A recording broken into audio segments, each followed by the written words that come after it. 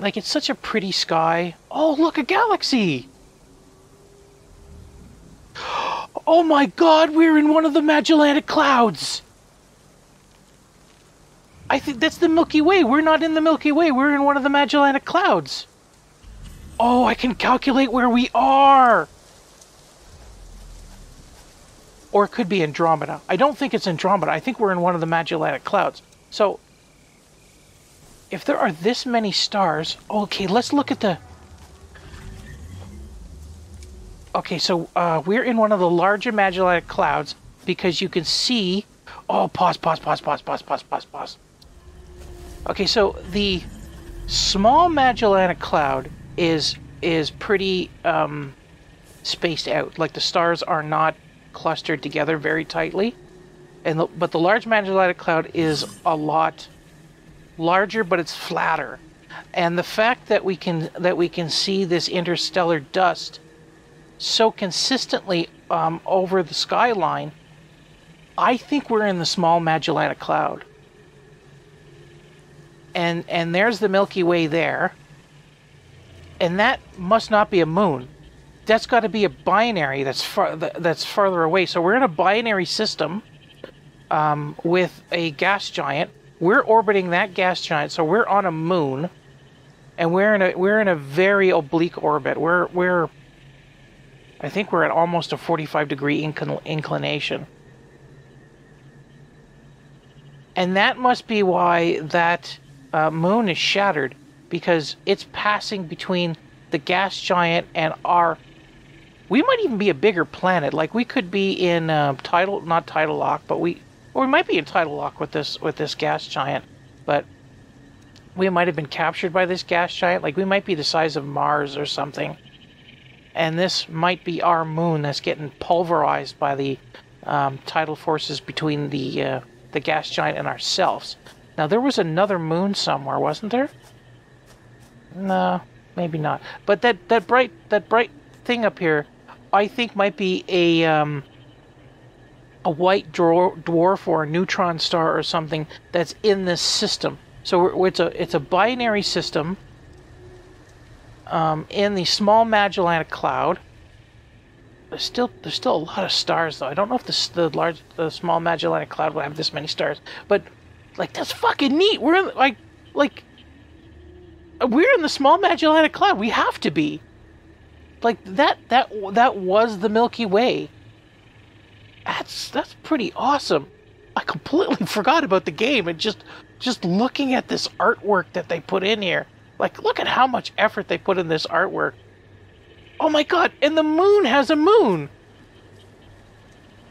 Look, there's a, there's a little um, um, uh, Trojan asteroid following it right there. See? Uh, like, well, you can't get anything to scale in this game because it's all just skybox paintings, but it's like, it seems to be like the size of Phobos and Deimos, and you can see that it's that it's pretty ill-shapen. Get back underneath here. Uh, like it, it doesn't have a very good shape. And I think it is orbiting. Oh, there's another one on the other side.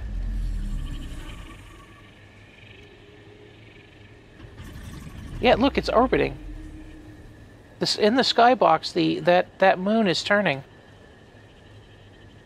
and it's got uh, it's got two tidally locked um, asteroids uh, in orbit with it.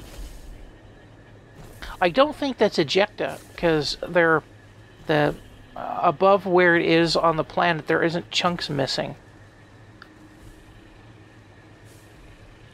How round is that? That's not very round. That's like a class that's like a Class C asteroid or something. Oh man, that's like... And then there's a smaller one over there, but that, that could just be parallax that's making me think that it's smaller. Like, those two could be the same size. That is awesomeness. Oh my god, that is so awesome. Oh, fuck, guys. Thank you very much. That was, that was a nice thing to look at.